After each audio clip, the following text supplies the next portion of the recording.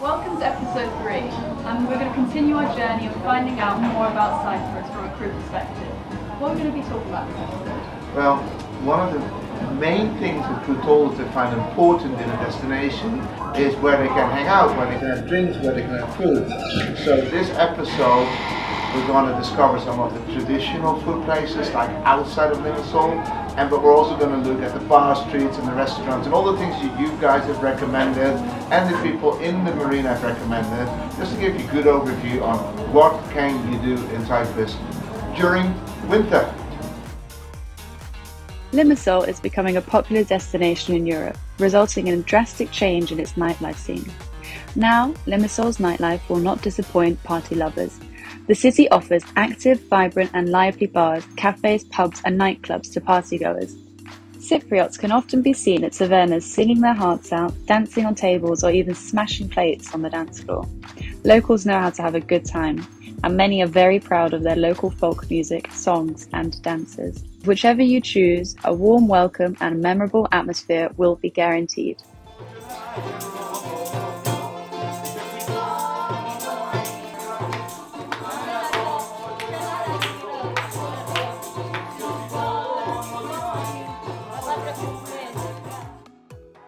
When watching the locals socialising in bars and restaurants that are spread throughout the island, you are immediately struck by their carefree, happy attitude, and you can't help but find yourself drawn into the warm atmosphere of the tavernas, which are filled with music, conversation, and laughter.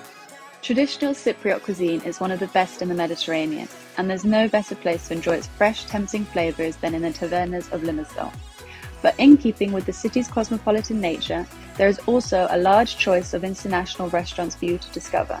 Traditional local cuisine includes the acclaimed meze, which can include a mix of as many as 12 varied dishes, such as kleftiko, soufla, moussaka, and sheftalia. However, you do not need to venture far to enjoy fine dining or a relaxed sundowner. So we're now in the area of uh, the old town called Saripolou, which is a square that contains lots of bars and cafes and, and lots of sort of social life and entertainment. So we like to bring the crew here when we're when we're having a big crew night out. This is where we'll tend to bring them. The captain's not normally uh, too forgiving afterwards, but it's all part of the fun. So no, fantastic area, and it's it's very lively uh, for most of the year. And from here, it's it's a walk to any part of the old farm.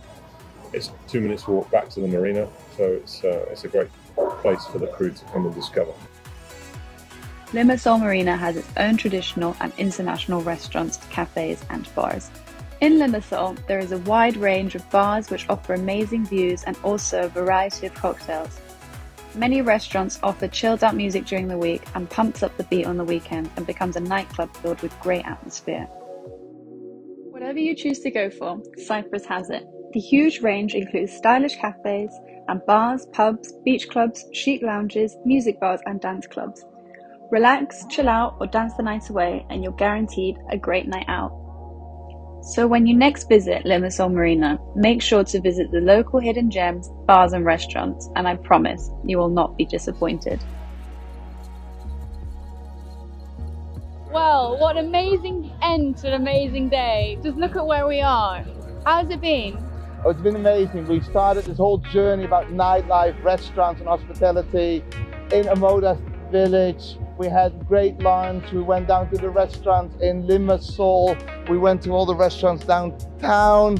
It's crazy. Now we are here on Columbia Beach together with a great bunch of crew enjoying the end of a great dinner with a lovely marshmallows. Did you enjoy it? I loved it. It's been a great day. Fantastic.